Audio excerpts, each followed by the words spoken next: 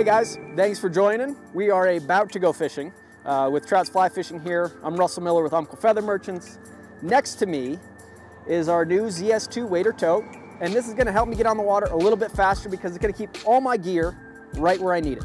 Last night when I packed up, I threw in all my stuff and I've got it all with me. And so this morning here at the river, I can just open this thing up. I know I've got my fishing pack, check. ZS2 bandolier, my favorite pack.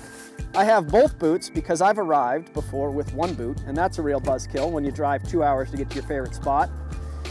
I've got my waders uh, drying out from a day fishing the other day.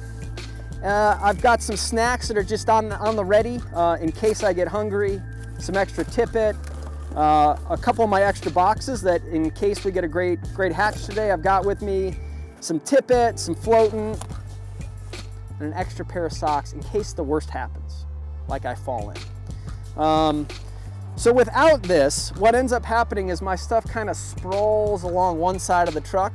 With this great tote, I'm able to keep all my gear organized, um, clean, and at the ready. So regardless if I'm changing on gravel like we've got here, or a lot of times it's a dusty pull off that you get into and take off your waders and boots, uh, you don't have a mat, you end up bringing all that stuff into your truck. This just helps keep everything organized so you can turn really quickly, uh, day in, day out, uh, and get out on the water. So our new ZS2 Wader tote uh, expands on the zero sweep line and the whole design philosophy there is we're gonna minimize the amount of stuff and maximize the features.